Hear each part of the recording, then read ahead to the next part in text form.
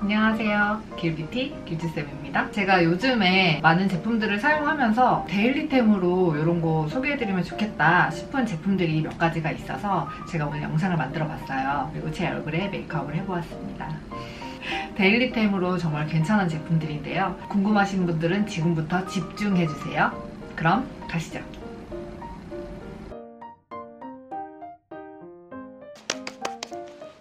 sun base 바를게요. 데이지크.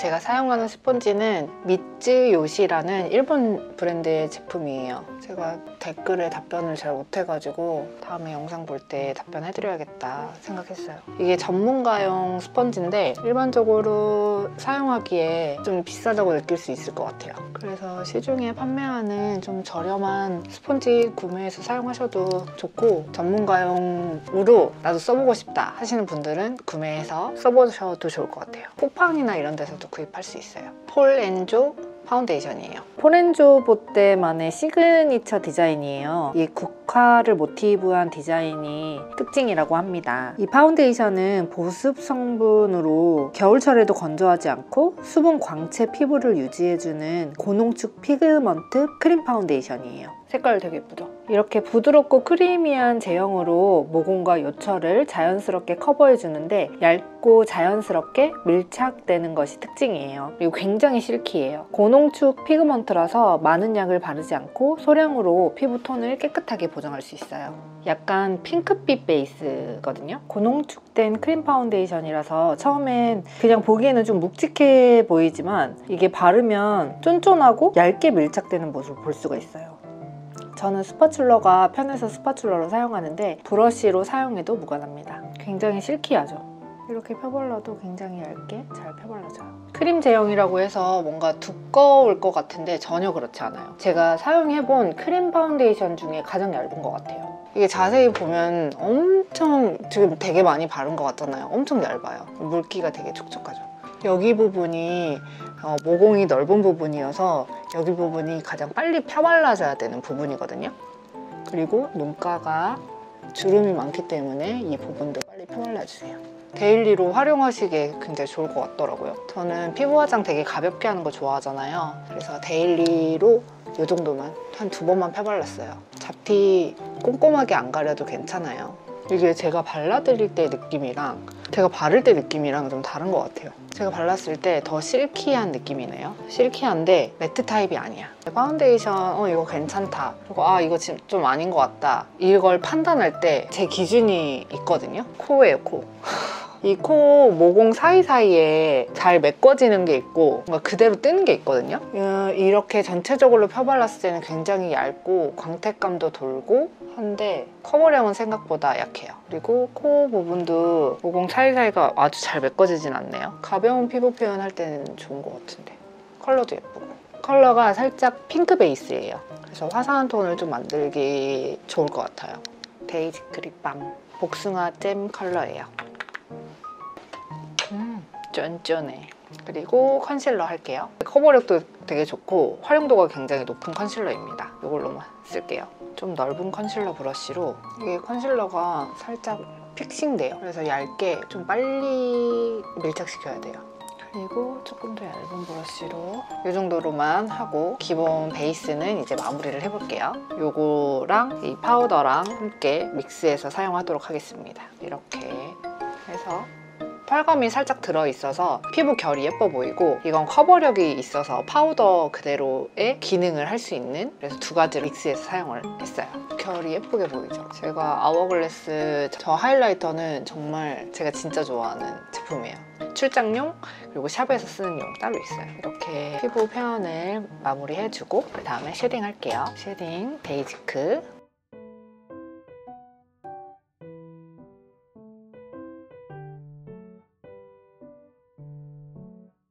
highlighter는 이게 펄감이 살짝 있거든요. 이 정도만 할게요.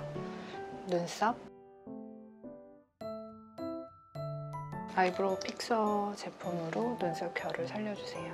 이렇게 눈썹을 그려주고 제가 늘 고민하는 부분은 뭐냐면 내 눈엔 섀도우가 안 어울려. 그리고 메이크업을 하면 눈이 더 작아 보여. 이런 고민이 있거든요. 근데 저처럼 고민하시는 분들이 분명히 있을 거라고 생각하거든요. 그래서 아주 아무것도 안 하는 것보다는 살짝 음영감을 주던지 섀도우를 살짝 하면 예쁠 만한 섀도우를 오늘 가지고 왔어요.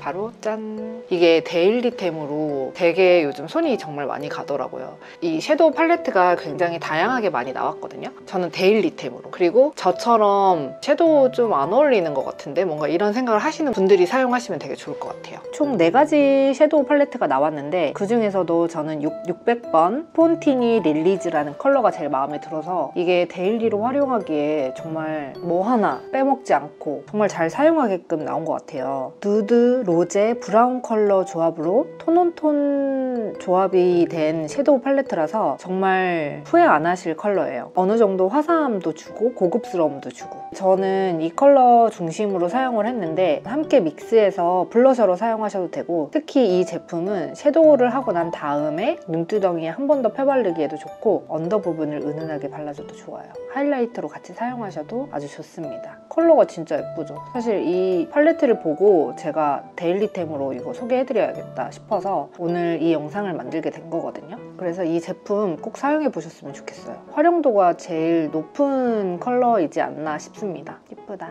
여기에서 이 중간으로 밝은 이 섀도우 이걸 기본 베이스 브러쉬에서 이렇게 펴발라주세요. 이렇게 한번 툭툭툭 털어서 쌍꺼풀 라인하고 가장 가까운 부분에 먼저 펴발라주세요. 이렇게 이걸 이- 점점 점점 위쪽으로 펴발라주는 거예요.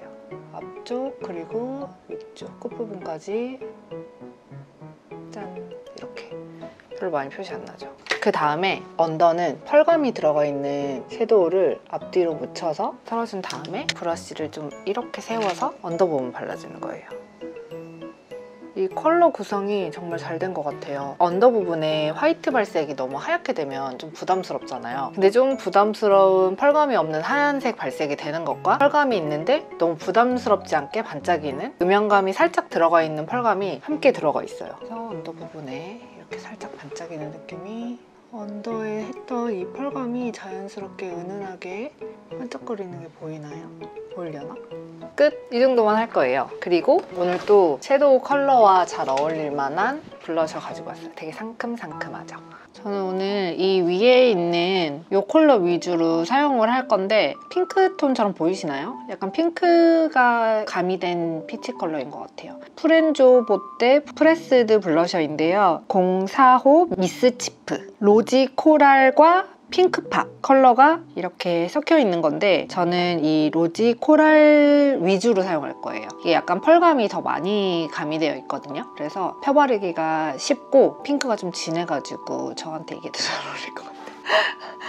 뭔가 너무 young하려고 약간 발악하는 것 같아서 저는 이, 이 컬러를 위주로 할게요. 발색이 굉장히 선명하고 rosy coral 컬러가 좀 균일하게 잘 발라지는 것 같아요. 펄감이 좀 가미되어 있어서 그런가 봐요. fitting veil powder로 밀착력을 높이고 오일 흡수 파우더가 함유되어 있어서 오랜 시간 darkening 없이 화사한 피부를 연출할 수 있다고 합니다. 그래서인지 가루가 많이 묻어나지 않고 예쁜 색감을 잘 유지해줘서 외출 시에 지속력도 괜찮았어요.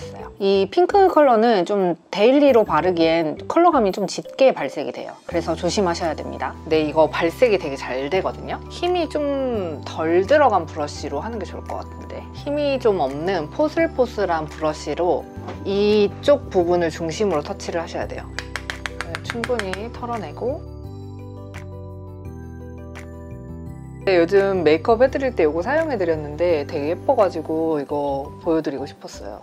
아까 사용했던 하이라이터 브러쉬로 하이라이터를 좀 해야 되겠어요. 이걸로 다시 한번 경계 부분을 풀어준다고 생각하고 그리고 다시 이걸로 짠! 이런 발색으로 블러셔 되게 예쁘죠?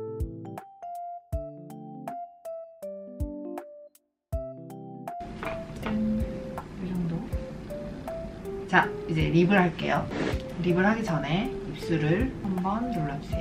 먼저 이 오늘 이 두 가지를 사용할 예정인데 먼저 lip liner로 입술 라인을 좀 잡아볼게요. 저는 살짝 베이지빛을 좋아하거든요. 너무 뭔가 뜨지 않은 컬러를 좋아하는데 오늘 peach 톤이 잘 어울릴 것 같아서 사용을 해봤는데 제가 생각한 것보다 더 예뻐요. 요즘 제가 메이크업을 할 때 펜슬을 많이 사용하는 편인데 저는 좀 통통한 거 위주로 사용을 했거든요. 그리고 입술에 구각을 또렷하게 잡아줄 때 이렇게 얇은 펜슬을 사용 하는 편이에요. 생각보다 발색 되게 잘 되죠. 이게 확 뜨지도 않고 구각도 꽉 잡아주고 그리고 wood liner가 심을 딱딱하게 잡아줘서 흔들리지 않고 중간에 부러질 일이 없어요. smudging도 잘 되고 포인트 lip 바르고 둥둥 뜨지 않게 표현이 가능해요. 부드럽게 잘 발려지고 발색도 굉장히 잘 돼서 좀 예민한 입술에 바를 때 불편하지 않게 사용이 가능한 것 같아요. 그리고 저는 입술 라인보다 더 바깥쪽 부분에 발랐거든요. 좀 인위적으로 보일 수도 있는데 이게 너무 뭉개지듯이 발라지지 않으면서 밀착력 있게 잘 올라가는 것 같아요. 컨실러 펜슬이 좀 얇으면 구각이 좀 또렷하게 잡히고 약간 도톰하면 볼륨감을 주는데 조금 더 수월해요.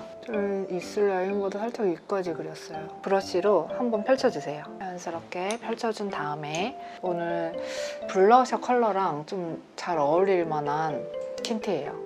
자연스럽고 차분한 무드의 mute peach 컬러. 컬러감이 너무 확 튀지 않은 오렌지 컬러라고 해야 될까요? tone down된 오렌지 컬러예요. 자연스럽게 생기를 좀 넣어주는 제가 채도가 너무 높으면 좀 부담스럽거든요. 어려 보이려고 하는 것 같아서. 근데 이건 좀 부담스럽지 않은 컬러예요. applicator가 물방울 모양이고 가운데가 뚫려 있어서 양 조절하기 괜찮은 것 같아요. 바르기도 편하고 layering해서 사용하기도 괜찮은 것 같아요. 발랐을 때 이 영롱한 광이 꿀을 머금은 듯한 발색이 돼요. 여러 번 덧발라도 텁텁함이 없이 맑게 발색이 돼요. 입술이 탱글탱글하게 예쁘게 표현해주는 것 같아요. 립 라이너와 잘 어울릴 수 있도록 이렇게 이렇게 한 번 더 올려주었습니다. 이렇게 바르고 입술을 뭉개지 않을게요. 광택감이 좀 사라지더라고요. 이렇게 발라주고 한 번 더. 가볍게 한 번씩만 발라주고 끝! 짠! 이렇게 오늘 영상을 찍어봤어요. 어때요? 영상이 도움이 되셨나요? 데일리템으로 괜찮은 제품들을 사용을 해보면서 추천해드리기에 괜찮은 제품들로 선정을 해봤는데요. 오늘 제가 소개해드린 제품을 보시고 예뻐지는데 도움이 되었으면 좋겠습니다. 그럼 저는 다음 영상으로 돌아올게요. 오늘도 예뻐지세요. 안녕!